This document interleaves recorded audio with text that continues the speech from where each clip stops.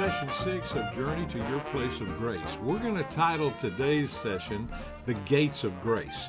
I think it will begin to become clear to you as we start to talk about how there are different things in our life that are gates to allow people access to our place of grace.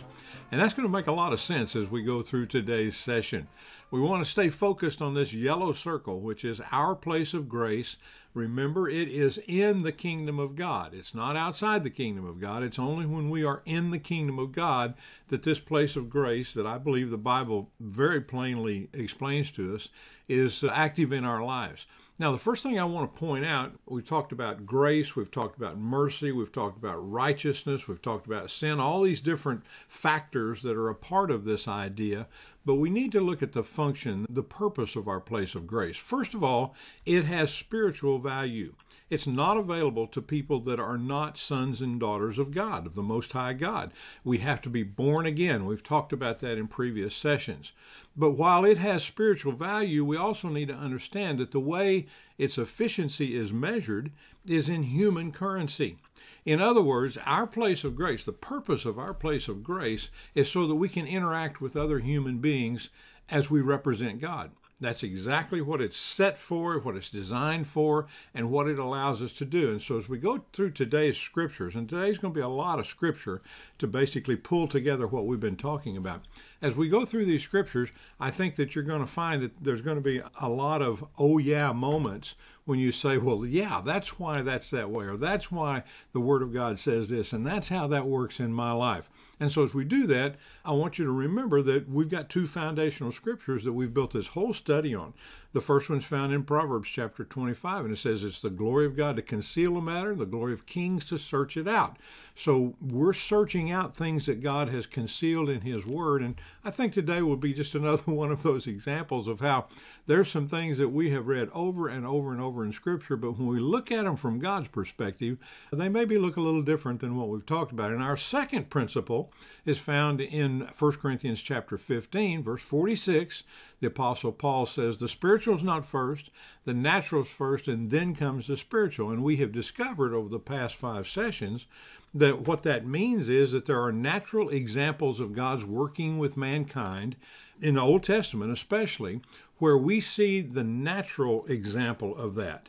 And when we get to the New Testament, because we are now born of the Spirit of God, we have the Spirit of God dwelling within us, we can understand the spiritual lesson that was behind those, those natural examples. And so, having that foundation, we're going to move today into our first scripture, and we're going to start in Colossians chapter 3, verse 7.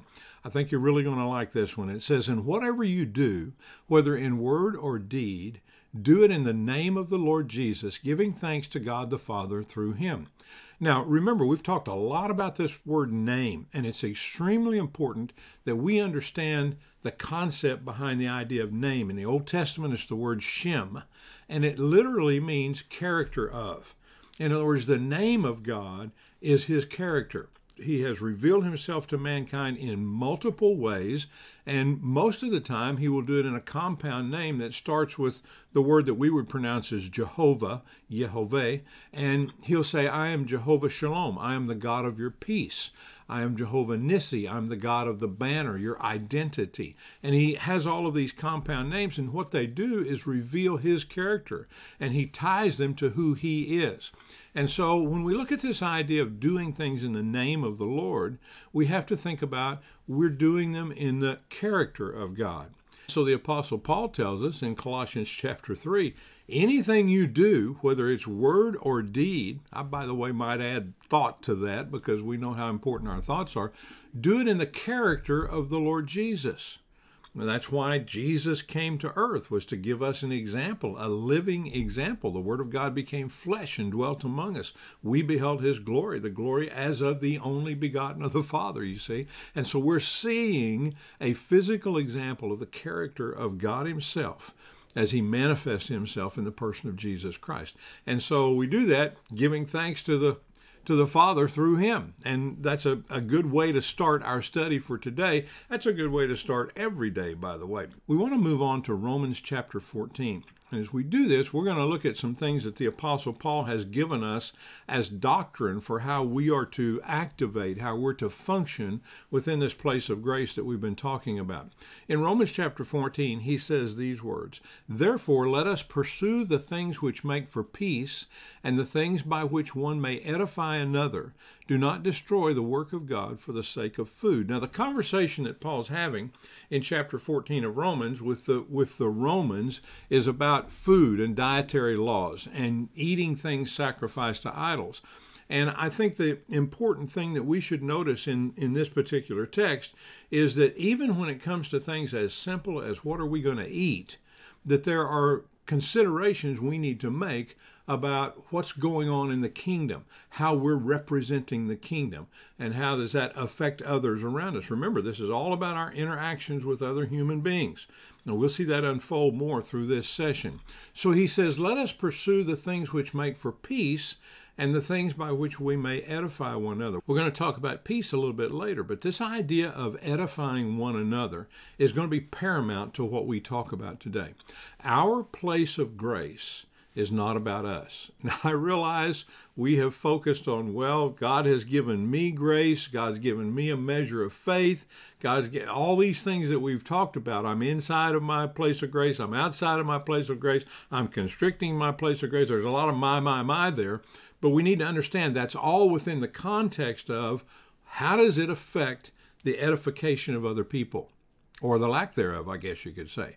And so that's paramount to what we're talking about today. Understand this as we go through today's session, we're recapping all that we've talked about in the way it works. And the way it works is in relationship with other human beings. If it were not for other human beings, we wouldn't need grace. you see, there would there wouldn't be any way to sin if we didn't have other human beings in the world, because that's the that's the place that that interaction takes place. That's that's the place that that confrontation takes place. Get that kind of set in your spirit, and we'll see how that works out as we go through today's session. So here we are. We've got gates of grace. I want to propose to you that our place of grace. We've been talking about this delineated place, this measurable place. Now I want to propose to you that I think it has gates. It's not just a fence that's built all the way around us of, of some kind of imaginary type. No, it actually has gates. And what do I mean by that?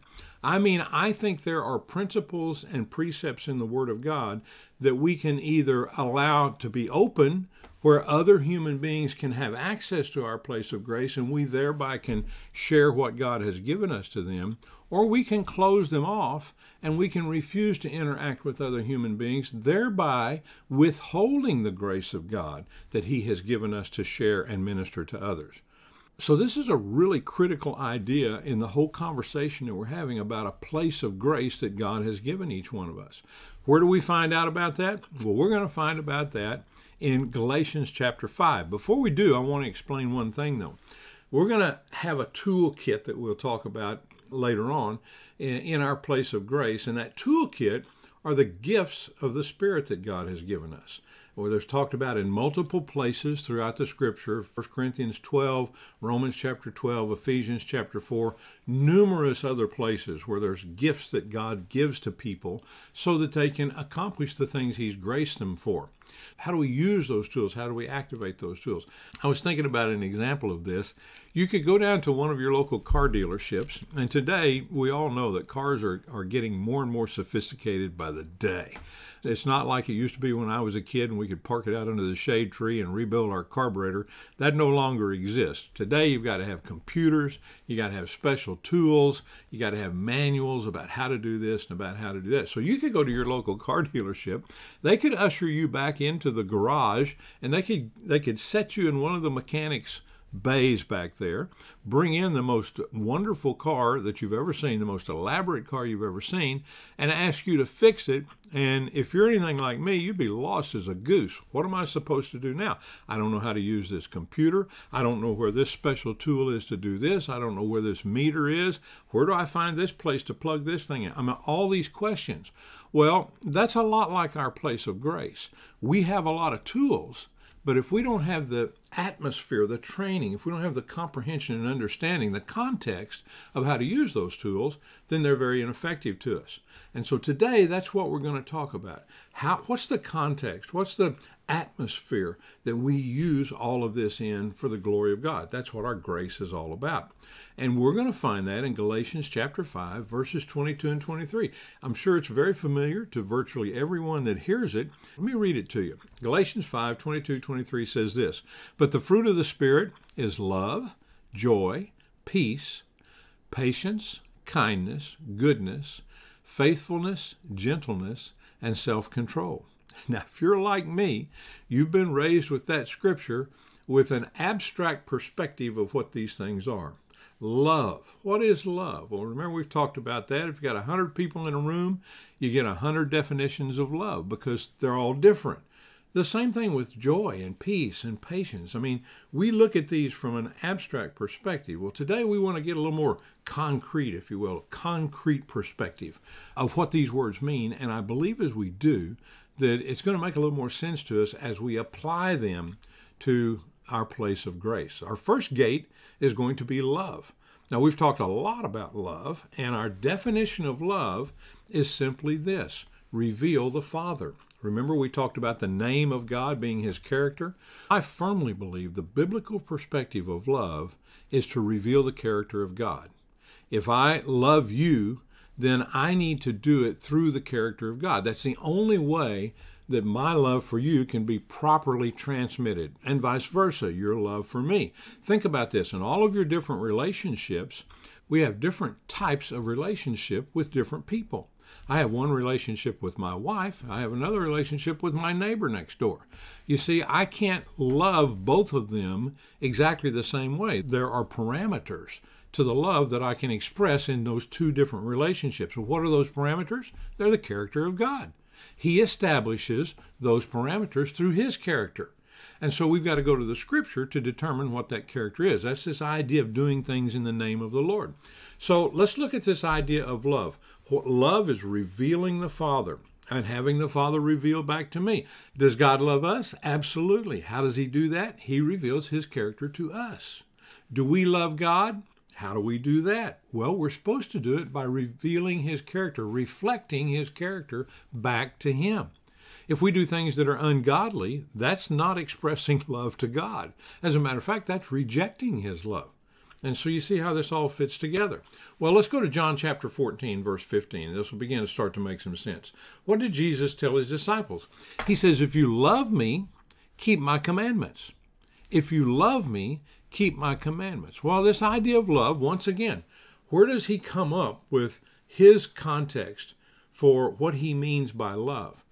Well, if you are familiar, this is a Hebraism that's found in the New Testament. There are, there are so many of them, you know. Once you begin to recognize them, they just start to pop up everywhere.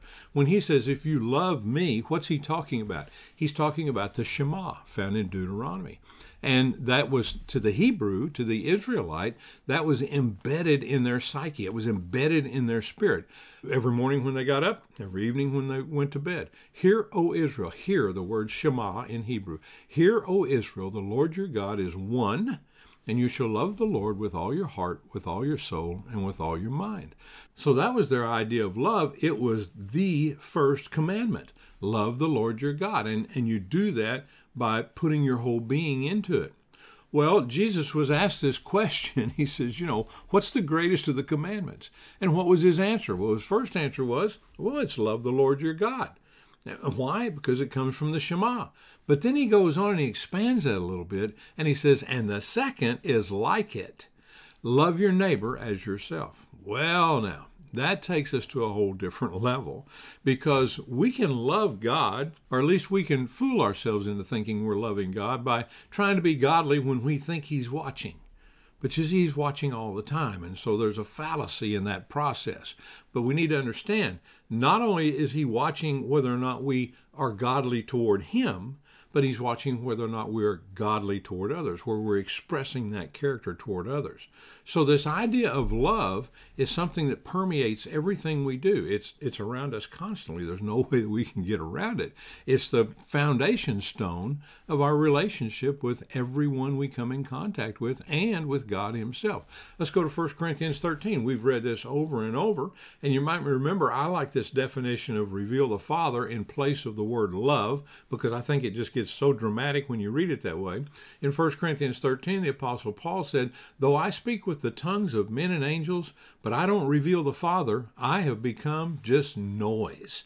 You see what he's saying there? He's saying, if I don't reveal the character of God to somebody, I can have all this religious vernacular I want, and it doesn't mean anything. It's just racket, it's just noise. And he ends that chapter by saying this Now abide faith, hope, and love, these three.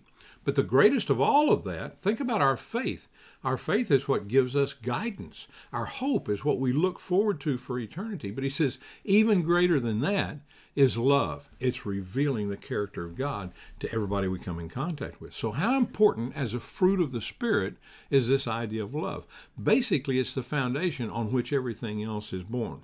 And some people, by the way, would say that when you list the, the fruit of the Spirit, that that love is the overarching fruit and all of the others fall underneath it. I think there may be some merit to that. So we'll have to kind of judge that as we go through the rest of them. Now we're going to move on to the second fruit of the Spirit. And by the way, Jesus said that you will be known by our fruit. People will recognize us by our fruit. So we need to know what this fruit is, how it functions in our place of grace. Joy. The second one is joy. What is joy? Let's go to Romans chapter 14. And there Paul says these words. He says, Do not let your good be spoken of as evil, for the kingdom of God is not eating and drinking. Remember, he's still having this conversation about food here, and that's because that's what the Romans are zeroed in on. That's their big issue right now. And so he's relating the truth of God's word to them based on this issue that they're dealing with. We can expand that into virtually any issue we have with mankind. He said, So the kingdom of God is not eating and drinking, and he's going to give us a definition of what the kingdom of God is it's righteousness, peace, and joy. We're going to talk about peace a little bit later, but what is our righteousness? Well, we know full well from studying Paul's writings that we don't function on our own righteousness. He says it's filthy rags, it's just trash, it's not worth anything. We've got to have the righteousness of Christ. And so, if we're going to look at this from a kingdom perspective, we've got to understand that we have to have the righteousness of Christ to function with in our relationships. Peace, which we'll look at shortly, and joy. Well, this joy, what is this joy? Well, the joy we find is obviously in the Holy Spirit. He goes on to say, For he who serves Christ in these things is acceptable to God and approved by men. Now, that's an interesting way to judge whether or not we're being effective in the kingdom.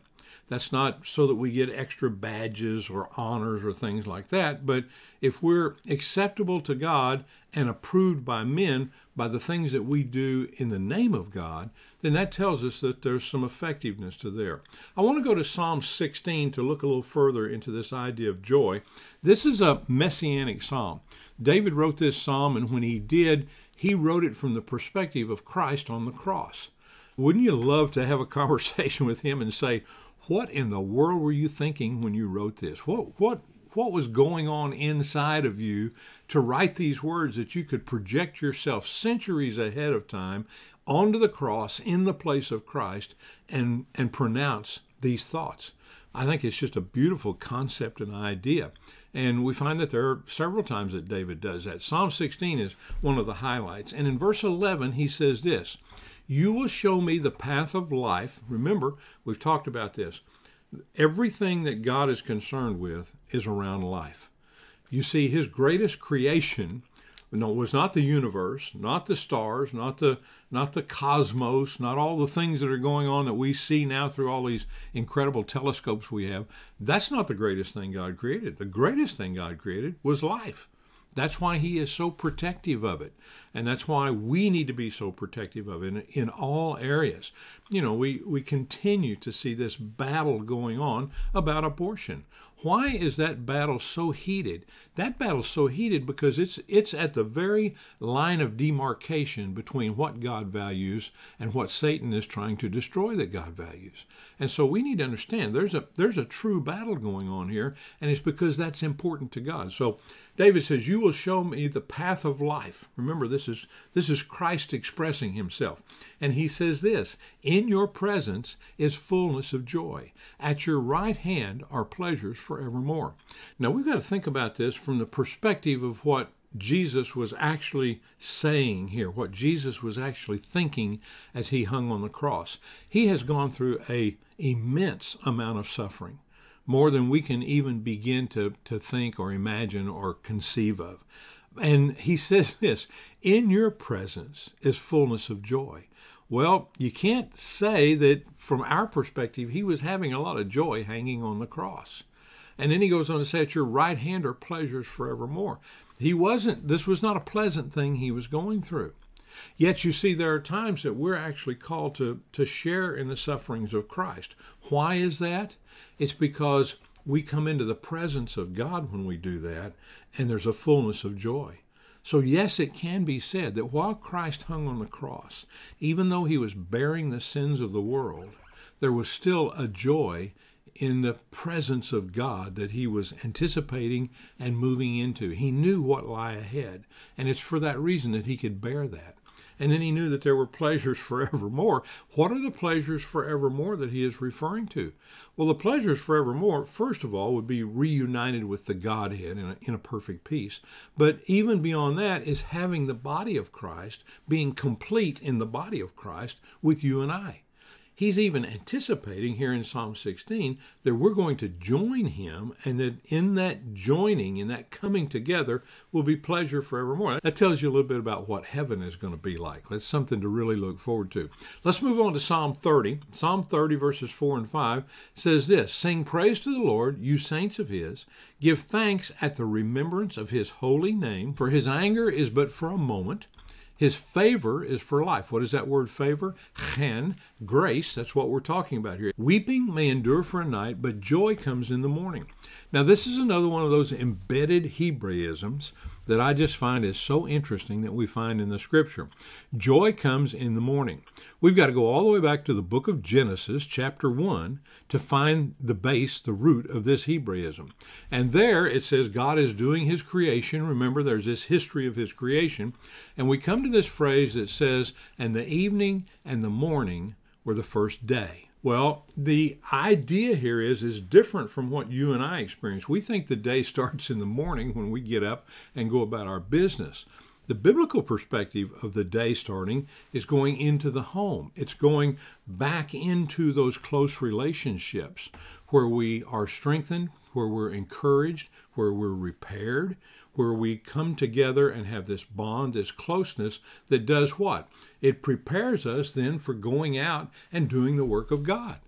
So when the psalmist says joy comes in the morning, his perspective is that joy comes after I have been in close communion with my family, with those that are important to me. I've been repaired from the day before, from all the activity that took place. My spirit has been quieted, and I have been given this rest, this Shabbat, this reprieve away from the cares of the world, and I'm ready now. And so my joy, where's my joy?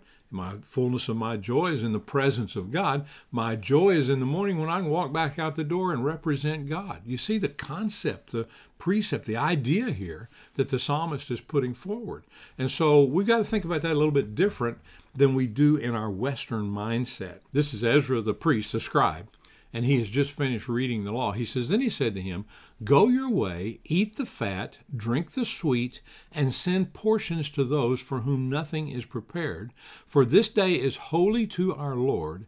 Do not sorrow, for the joy of the Lord is your strength. Now, this is a very interesting, by the way, another Hebraism. You've got to understand this from a Hebraic perspective.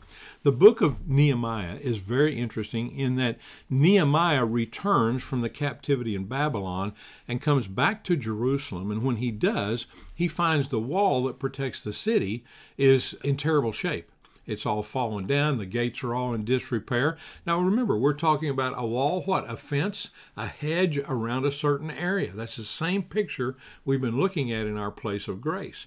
And so what does he do? Well, he puts together a civic project and they repair the wall, they repair the gates. If you'll read those first five or six chapters of Nehemiah, it's an amazing story at the way they pull this off. They have to work with one hand and hold a weapon in the other because there's so much confrontation going on in the area around them. And so when they finish that, they bring all the people together. They build a wooden stand, according to Nehemiah chapter 8, and Ezra the scribe climbs up on top of it, and when he does, he reads the law. Now, we don't know how long this took. We don't know what portion he read for sure. Could have been the Torah, the first five books. Whatever it might have been, as he read this, everyone stood. And then they had all of the other rabbis that were there present that as he's reading, they would stop and they would then explain that word that was read to those that were standing around them. It was a marvelous picture.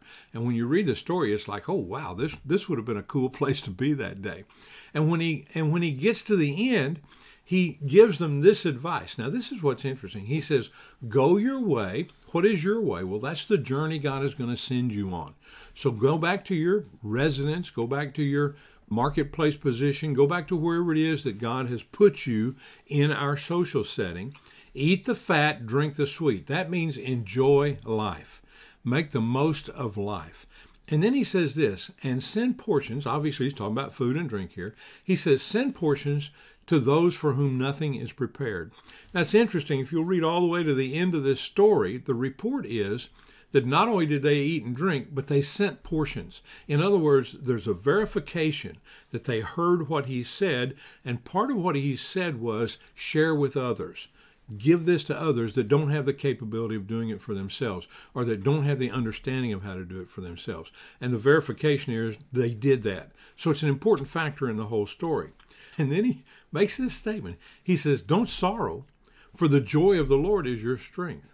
Well, if you'll go to that word joy and do a little word study on it, you'll discover something interesting. That joy doesn't mean happiness and giddiness and having a party and all those kind of things. That joy, the root meaning of that word joy, means to be joined. So, this idea of being joined to the Lord is our strength. And when we have that, we have peace, we have well-being, we have comfort, we have hope, we have faith, we have all of these things that goes with that. And so what he's saying here is that's not going to just make you happy and it's not just a party time. No, he's saying something much, much deeper than that. He's saying that if we will go back and be joined to the Lord and not be caught up in our sorrows, caught up in our problems, caught up in our issues, but focus on the Lord, he, he is our source, then that will be our strength. What a beautiful story. And so, this idea of joy, another one of our fruits, and once we learn how to apply that joy, be joined to the to what God is, be joined to who God is, be joined to the kingdom of God and what He's doing in it, that will be your strength. That will be what prepares you, what carries you, what undergirds you. Well, our next fruit is peace. We've talked about peace multiple times, and of course, the definition I love of peace that we find from the ancient Hebrew is destroy the authority that establishes chaos in your life. Destroy the authority that's, that's establishing chaos in your life. Now, why do I think that that's a good definition? Well, I'm going to tell you I think it is because 1 John chapter 3 verses 8 and 9 read this way. He who sins is of the devil, for the devil has sinned from the beginning. That's chaos. Sin is chaos. Sin is dysfunction from godliness. Okay, understand that. He goes on to say this For this purpose the Son of God was manifested, that he might destroy the works of the devil. Listen, if you'll get a hold of this verse, it will change your life. The purpose that Jesus, the Son of God, came to earth for was to destroy the works of the devil.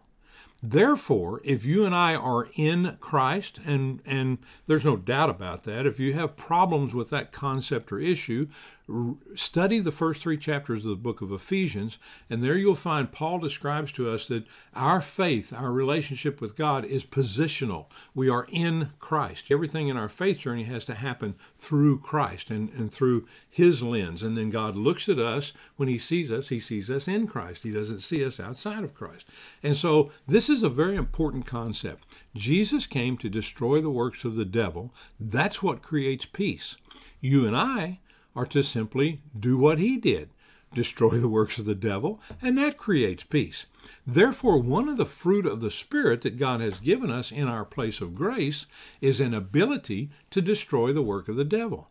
That's why it's so important that when we minister to people, and by the way, this is another one of my soapboxes, we have pastors. Those pastors are called to carry official positions in the church. They preach to us, they, they shepherd us, they guide us, they direct us. The rest of us are ministers. Make no mistake about that. You have to consider yourself to be a minister of the gospel of Jesus Christ, the good news of Jesus Christ. And as a minister, you are called to do exactly what Jesus did, and that is destroy the works of the devil. How do you do that? You function in your place of grace through the fruit of the Spirit using the tools, the gracings that God has given us to do that.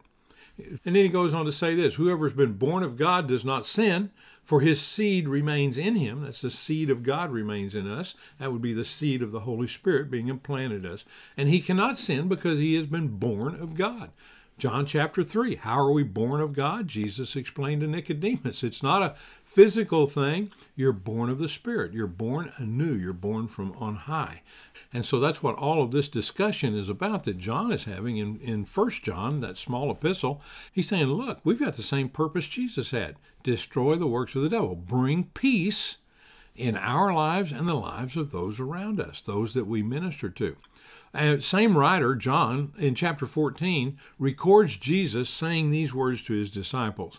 Jesus said, These things have I spoken to you while being present with you. He's reminding them of the stuff that he's taught them during the time that they walked and talked with him during his journey here on earth. He says, But the Helper, and he defines who that is, the Holy Spirit, whom the Father will send in my name. Wow, listen to this. Whom the Father will send in my character. Well, what's the character of Christ? He's the anointed one. That's what Christ means. So the character of Christ is to be anointed. So the Father is going to send the Holy Spirit in this character of anointing. So we're anointed with the presence of the Holy Spirit to do what? To do the work of the kingdom. And how do we do the work of the kingdom? We find our place of grace. We discover what the gates of grace are that allow it to function. And then we discover what the tools are, the giftings that the Holy Spirit has given us. And that word, by the way, is charis, which means gracings. The gracings that the Holy Spirit has provided us in order to do that. Isn't this a beautiful plan? And, and by the way, God hid it. he hid it from the past. Jesus looked at the disciples one day and he says, Your forefathers just longed to know what you're getting to see and, and discover and understand. And it's the same way. You and I are able to learn things and activate things in our life that Abraham, Isaac, Jacob, David, all of those patriarchs wanted to know, wanted to know how to do this. They longed to know how to do this. And there was probably some frustration in their lives because they didn't have the ability to. You and I have this at our fingertips. The Word of God reveals this to us, and we can simply walk into it. Well, he goes on to say this. He says, Do this in my name. He'll teach you all things. It's what we're doing right now. We're allowing the Holy Spirit to teach us. He'll bring to your remembrance all things that I said to you. Jesus' words are recorded in the scripture. We need to have them embedded in our heart. What did David say?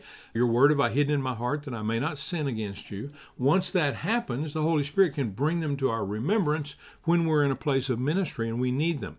That's an important process, and that only happens if we have ingested, if we have taken in the Word of God so it becomes part of our spirit.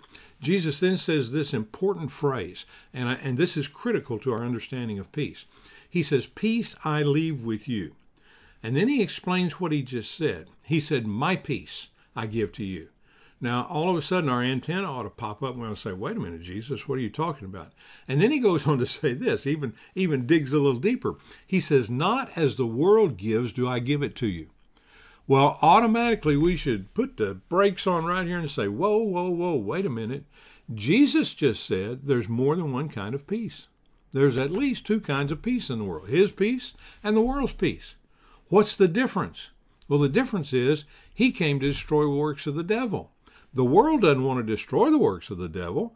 Why? Because that's what the world is all about is the works of the devil. He's the prince of the power of the air. That's his whole intention is to bring chaos and dysfunction to us. So if he gives us peace, what does he give us? Well, he just gives us the ability to come together and say, well, we're going to function on this level of chaos right now. We can deal with this until it all blows up again. It never lasts, okay? The peace of Jesus last forever. And then he goes on to say this, just as an assurance, just as a little insurance on the side, he says, Don't let your heart be troubled and don't let it be afraid. So you see, this peace is something that's extremely important as a fruit of the Spirit to us because we need to understand this is an offensive weapon. This is not something that God gives us to be able to survive. Well, I got the peace of God about this, and so I'm just gonna I'm gonna ride it out. I'm gonna see how it works. I'm gonna no, the peace of God means we're going about the idea of destroying the works of the devil. Psalm 119. I love Psalm 119. It's an acrostic, and every eight verses are tied to a letter of the Hebrew alphabet. The first line in each eight verses starts with a, a, letter, a successive letter of the alphabet. And when we get to Psalm 119, verse 165, we're in the letter Shin. It's one of the, latter letters. And that letter Shin looks like a W to us in the in the Hebrew. And you might remember, if you've ever, you remember Spock? He, what did he used to say? He said, live well and prosper or something like that. That was a Jewish sign. The priests would hold their hands up when they pronounced the Aaronic blessing. May the Lord bless you and keep you. May make his face to shine upon you. May be gracious unto you. May he lift up his countenance upon you and give you his peace. Well, they would, they would make that letter of the shin. Why? Because it's so important in their thought process. It's so important in the DNA of who they are as God's people. So when we get here, the first letter of the first word of the first line is shin, and that word is shalom. Now, when we translate it into English, we've obviously got to move the words around a little bit to make sense to us. And it says this Great peace have those who love your law. Now, you can say, oh, oh, wait a minute, Jim, wait a minute. We're talking about the law here. Well, we're free from the law. No, we're not free from the law because and there's a reason we're not free from the law. We're not free from the law because we're inside of the one who accomplished the law. Jesus said, I didn't come to do away with the law. I came to fulfill it. We are in him. He has fulfilled the law. So we can't go out and keep all of these ordinances of 600 and some ordinances. By the way, there's not even a temple to go sacrifice at. And it takes a temple to accomplish some 70% of the laws that are listed there. So we know that can't happen. How can it happen? It can only happen through Christ. And so great peace have those who love your law. So what's one of the what's one of the biggest secrets that sometimes we don't talk about a lot? Is that knowing what God said brings us great peace, a lot of peace. And so we need to understand that's one of the gates that we can open or close to be able to minister the grace that God has given us. We're going to move on now to some fruits that are described by words that are even a little more nebulous or elusive until we look at them from a Hebraic perspective. The next one is long suffering or patience, depending on the way that it's translated. Once again, the psalmist says this But you, O Lord, are a God full of compassion and gracious, long suffering, and abundant in mercy and truth. Now, how do we verify, how do we comprehend that the psalmist was telling the truth there? We simply read the Old Testament. There are picture after picture after picture of God's long suffering contained in the Old Testament in his dealings with mankind. Why? Well, he tells them to do something. They say, Yes, that's what we're going to do. We're going to abide by that commandment. And they walk right out the door and do something different. But God is long suffering. Why? Because he wants you and I to be part of that process. And he had to bring us to a place where he could administer the salvation of Christ so that that could be fulfilled. Let's go to Ephesians chapter 4. Boy, Ephesians, my favorite book of the Bible. I love it.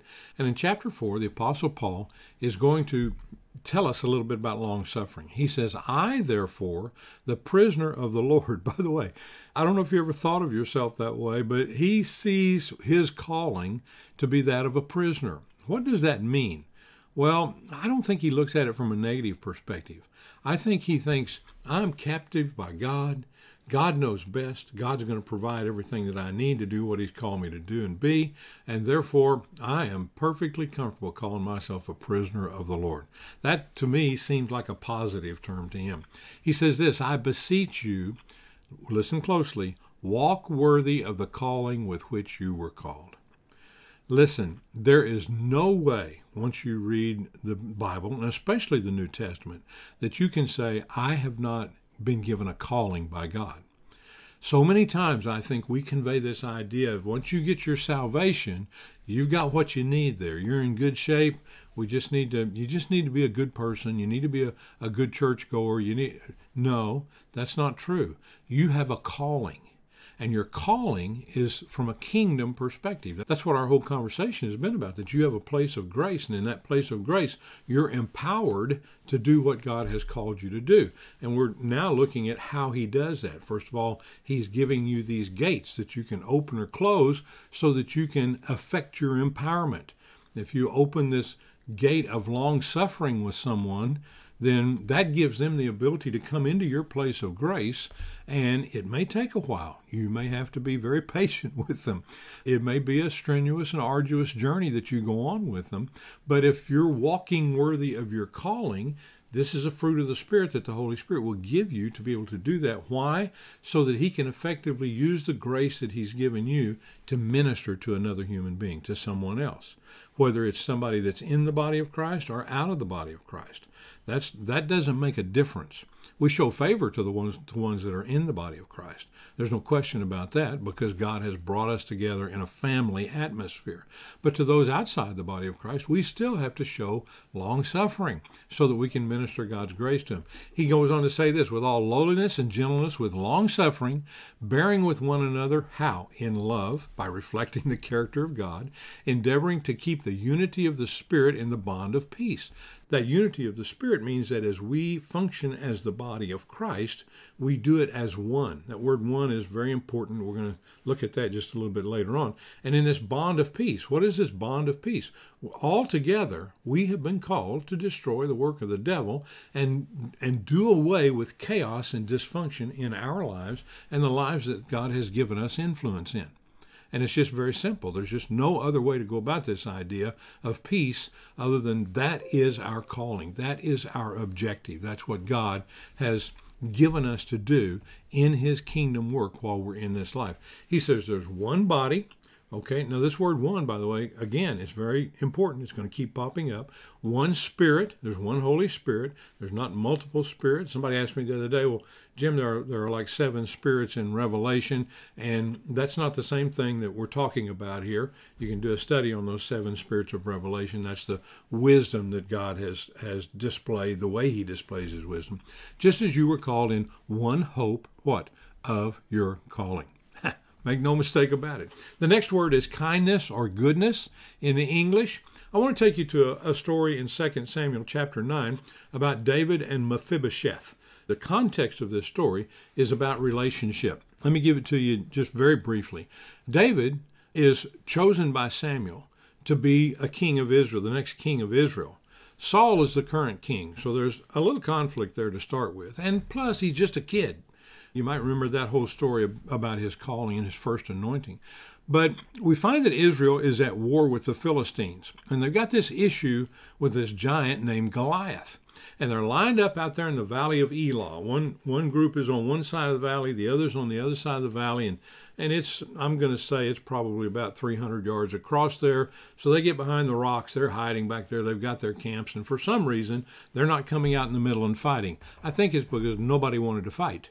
And so, what do they do? They start sending this giant out by the name of, of uh, Goliath, and uh, he starts he starts insinuating that the God of Israel is not capable of taking care of them. And so he's hurling all of these insults. In the meantime, all of the Israelites are hiding behind the rocks because this guy's like over nine foot tall, I think, and nobody wants to go out there and fight him. They're all scared of him. David has been taking care of the sheep his father sends him to bring some cheese and bread to his brothers on the battlefront.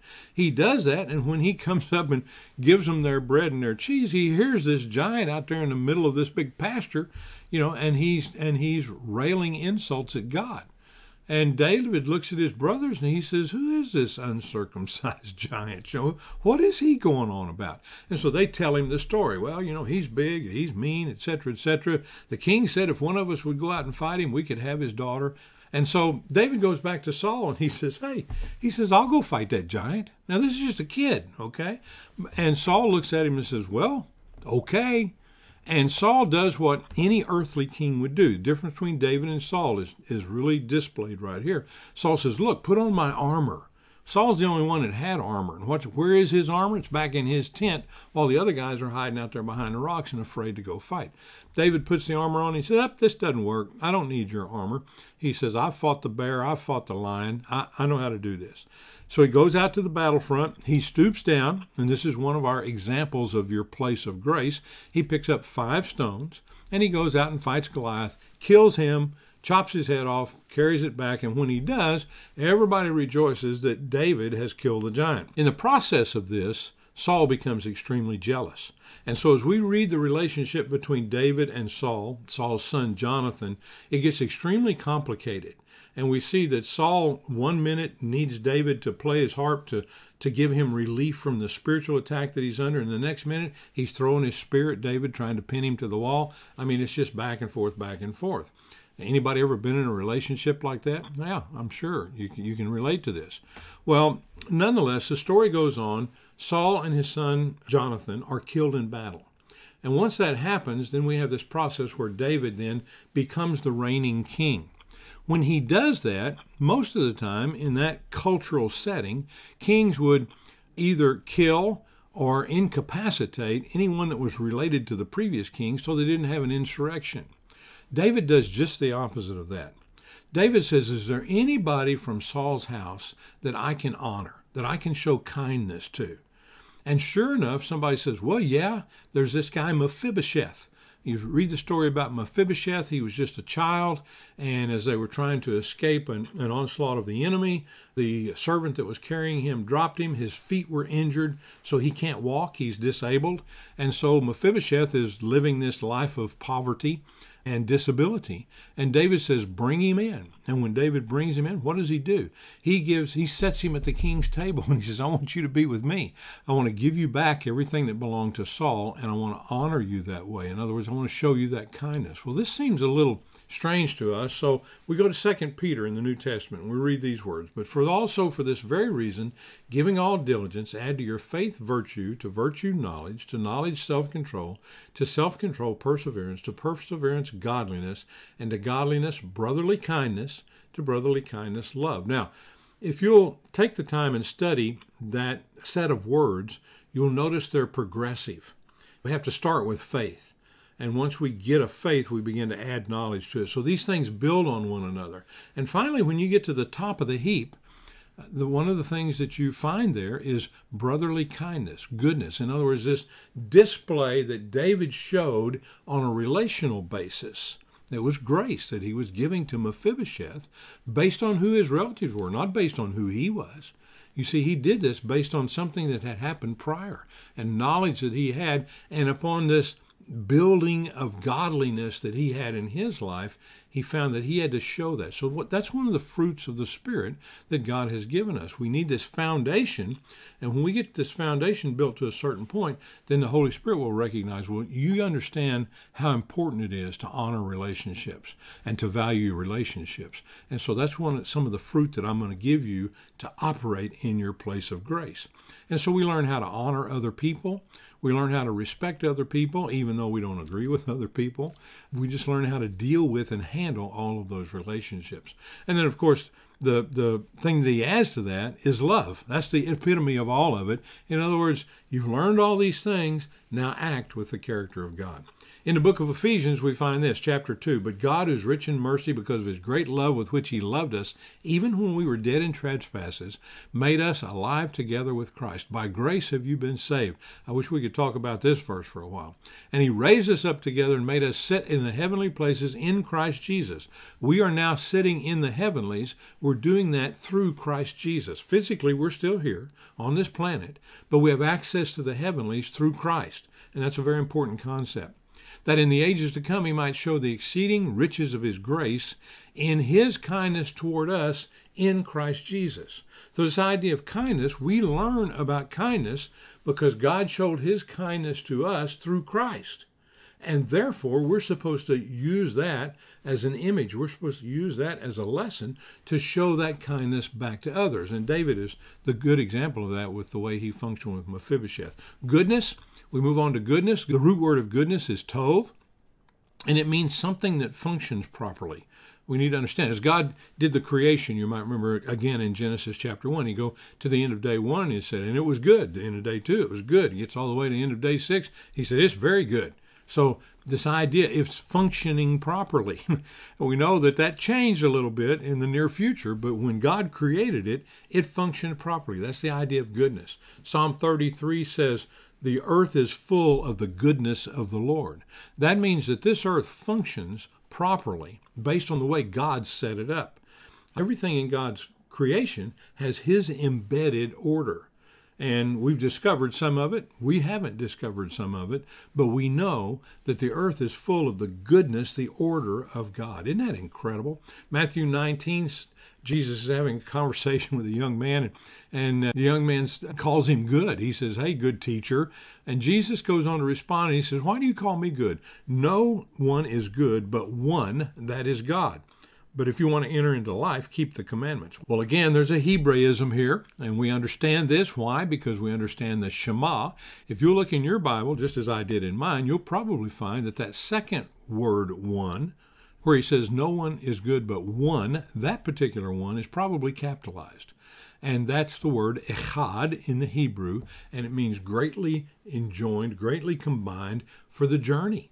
And so Jesus here is not saying, I'm not good. He says, I'm good as I'm part of the Trinity, part of the Godhead. And so a lot of times that's misunderstood. Jesus is not denying that he's good. He's just saying, my goodness comes from the fact that I'm part of the whole. Same thing with us. Our goodness comes from the fact that we are one with Christ. And if we don't have that oneness with Christ, with all due respect, there's no goodness in us. I love this. Psalm 23, you probably know that psalm. For the sake of time, I'm going to move on down to where the psalmist says this You prepare a table before me in the presence of my enemies. You anoint my head with oil. My cup runs over. Surely your goodness and your mercy shall follow me all the days of my life. Goodness and mercy there, Tov and Chesed in the Hebrew, Tov being the goodness, and it simply means the order that you have put in my life will follow me all the days of my life. Now, the key to this is this phrase, anoint my head with oil. And many times when we hear that phrase, we think, well, they would, you know, they would anoint somebody for the office or something like that. That's not the perspective that this story is told in. This is Psalm 23, and this talks about a shepherd. So we've got to say, well, what does it mean to anoint my head with oil in the way that a shepherd does? And if we'll go back and do a little research, we'll discover that sheep like to butt heads. They love to butt heads. They like to butt their head against a, a fence to try to get it out of the way. They butt their heads with each other. If you've ever watched goats, you know, they just seem to really have fun doing this. In the process of that, they damage their, their heads. They'll cut their skin and they'll have open wounds and things. And so what happens? Well, the flies begin to attack that. I mean, if you're in a in a barnyard situation, think about this. So what does a shepherd do? He pours oil, olive oil, on top of the head of that sheep or that goat. And what does that do? Well, first of all, it's medicinal, so it helps them to heal, keeps them from being inflamed. But secondly, it also keeps the flies from pestering them and other things like that. And so this idea of anointing my head with oil means that you are you're being good to me and you are helping me enjoy and participate in life. This idea, your goodness and your mercy shall follow me all the days of my life. We've already seen the, the mercy of God is over all of his works, so we're included in that, but his goodness his covering up of those things that irritate us or allow us to be agitated by outside forces. That's what the psalmist is talking about here when he looks at this idea of the shepherd. Faithfulness is our next word. Isaiah 25 says this O Lord, you are my God. I will exalt you. I will praise your name, for you have done wonderful things. Your counsels of old are faithfulness and truth. Two incredible words faithfulness and truth. David said in one of his Psalms, your word is established in heaven. In other words, it will never change. And that's what we're talking about. These are God's counsels. They are permanent, they're eternal, they never change, and they are faithfulness and truth. That's how important this concept is as a fruit of the Spirit in our life. In the book of Lamentations, we find this, this uh, phrase, Great is your faithfulness. We even sing it, you know, Great is thy faithfulness, O God my Father. I mean, it's just an incredible concept that God's faithfulness is beyond anything we can understand. And it needs to be one of the fruit of the Spirit that we have to operate in our place of grace. We need to be faithful in our character just as He is in His. Gentleness, gentleness in 2 Samuel chapter 22. By the way, this is a song of David. It was written by David, and probably at some time that he was about to face some enemies. They were about to go to war. So they're going to be in a situation you know, where he, he needed God's oversight. He needed to make sure God was with him. He said, You have also given me the shield of your salvation, your gentleness. And that word gentleness there, the root meaning of it is not just that he was meek and, and he was kind and he was non confrontational, though the word gentleness means an intense watchfulness. The picture of it that's, that's given in the language itself is a furrowing of the brows where you watch something so intently that that's all you're focused on. Well, that's that's this idea of gentleness as a fruit of the Spirit. In other words, when we're using our place of grace in relationship to someone else, we should be focused on what's going on with the relationship with that person and how the Holy Spirit wants to use our place of grace to minister to them. Once again, it's not about us, it's about everyone else. And this is a beautiful picture of that. And has made me great. The word great there means you have enlarged me or you've made me grow up. And I think so many times we just need to use that term grow up when it comes to Christians because I have seen so many circumstances in my life where Christians will get bitter with each other. They'll begin to, to fight and to have differences, and they let those things divide them and separate them and do damage in the body of Christ. When if we would just all grow up and think about the fact that God has called us to His business, not ours, then we wouldn't have a lot of these issues enough on that. I can't go any further. I love Philippians chapter 4. Rejoice in the Lord always. Again, I say rejoice. Let your gentleness, your intense watchfulness be known to all men. The Lord is at hand. In other words, if we're going to be gentle, people need to say, hey, that guy's intent on what God's got him doing. That's the sign of gentleness that we're looking for. Self control. This is a good one. Joshua 1 7 to 9. I, really love the example of Joshua. I encourage you to go back and read the first several chapters of Joshua. You'll see the picture of what we mean here by self control. And the way it's explained to Joshua is this the angel of the Lord says, Only be strong and very courageous. He's repeating what Moses said when he gets this message Be strong and very courageous, that you may observe to do according to all that the law of Moses, my servant, commanded you. Do not turn to the right or to the left, that you may prosper wherever you go. Self control brings us prosperity. Prosperity is not monetary gain, prosperity is being successful in our place of grace. And to do that, we have to be courageous. Being courageous means that we have to use self control. We can't be pushed around by this whim or by this idea or by this particular thing that's going on in the culture right now. That's why we need to be strong as we stand against the culture, this idea of wokeness and all this stuff that's going on.